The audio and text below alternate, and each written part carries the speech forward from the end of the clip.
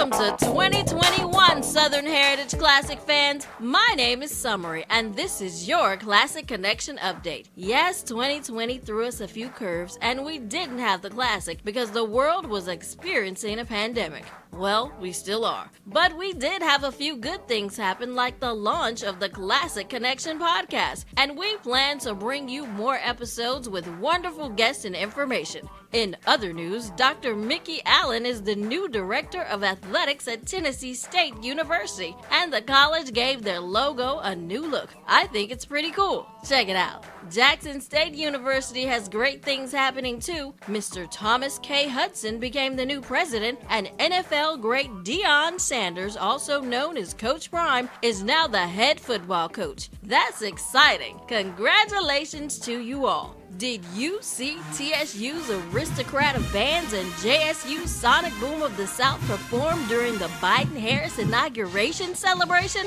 They were outstanding. That's a huge honor. Great things are happening for HBCUs. We look forward to seeing everyone at the 32nd Southern Heritage Classic on Saturday, September 11th. I know you guys have questions, and I promise we'll answer them as soon as we can. Until then, I encourage you to stay safe and make good choices. Oh, and be sure to sign up for our newsletter at southernheritageclassic.com.